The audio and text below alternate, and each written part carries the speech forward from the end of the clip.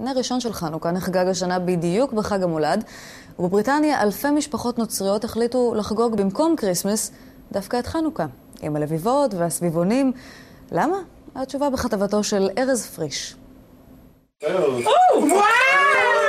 בבתים רבים בבריטניה ביקר השבוע סנטה קלאוס לכבוד חג המולד, אבל לטענת ארגון נוצרים למען ישראל, יותר ויותר משפחות נוצריות מעדיפות בשנים האחרונות לחגוג דווקא את חג החנוכה ולהשאיר את עצי האשוח לקישוט מאחור בפינה.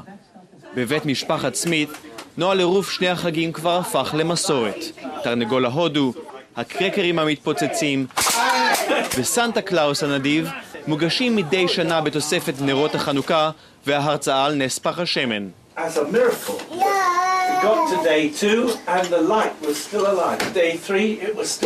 In our Bibles, there, there is actually no evidence that the early Christian church uh, celebrated Christmas at all. It does refer to Jesus being in the temple at the Feast of Dedication in Jerusalem. So Jesus actually observed Hanukkah. השנה, חלק מחברי המשפחה גילו קצת יותר על חג האורות, משום שחנוכה וכריסמס חלו בדיוק באותו היום.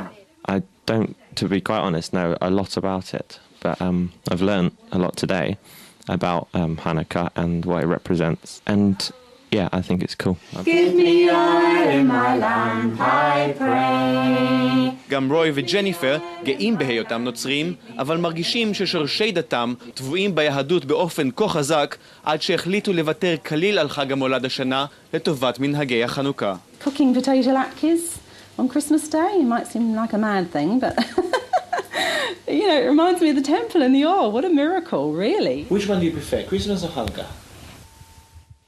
Probably Hanukkah. Why is that?